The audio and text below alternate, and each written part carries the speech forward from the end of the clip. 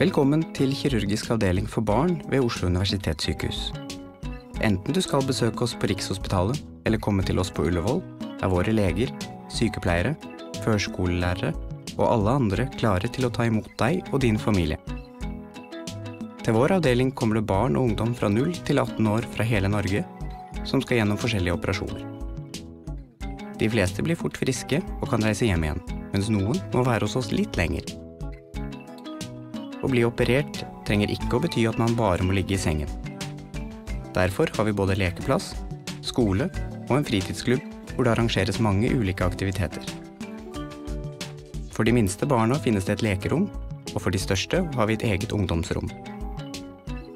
Å komme på sykehus kan være både nytt og skummelt. Det vil sikkert være mye du lurer på.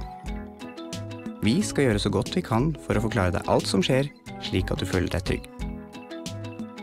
Men hvis det er noe du lurer på, så husk at du alltid kan spørre oss om hva som helst. Det gjelder også familien din.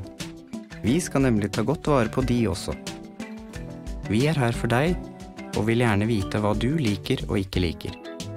Det hjelper oss å bli bedre på jobben vår, så vi vil alltid gjerne høre din mening.